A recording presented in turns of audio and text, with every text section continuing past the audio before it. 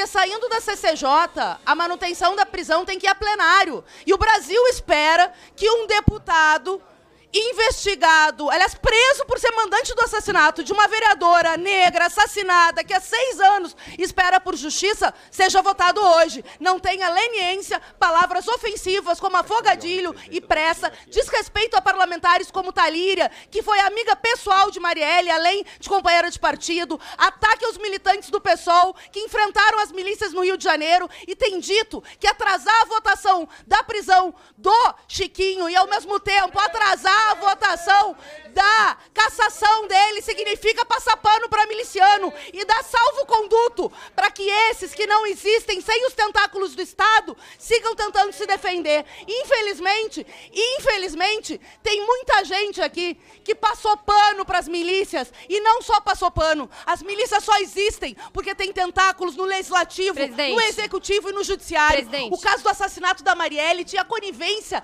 do chefe da Polícia Civil, que ia com cinismo abraçar a família. E o que dizer pra dona Marinette? Que a dona Marinette que é afogadilha, a dona Marinette que é justiça. Uma vereadora foi assassinada e nada vai repor a vida da Marielle. Tem deputado aqui dizendo que a gente tem pressa. Como assim? Até os Brasil ossos da Marielle. tem pressa.